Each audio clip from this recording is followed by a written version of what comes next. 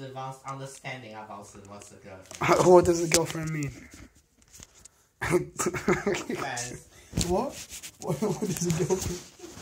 how to say that? how to say that? I know how to say that in, in Chinese, but I don't know how to say that. Okay, what do you mean by girlfriend? As in like a friend who's a girl, or an actual? No, no, no. It's not. It's more like the. Uh, it's it's quite different from the ordinary friends. Like have sex or something like that, or like kiss and stuff like that. Kiss, sex, you love this girl. yeah, I had a girlfriend when I was like eleven or something.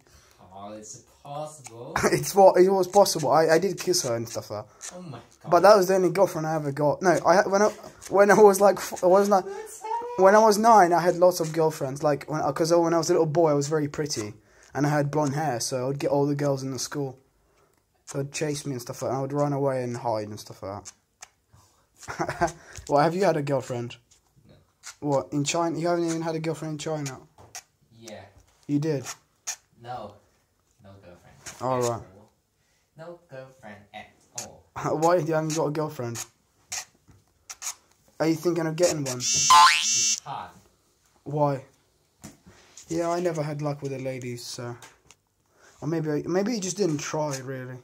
I see some really like not so good looking guys with some very pretty girls, so you should you shouldn't have a problem. Social strategy.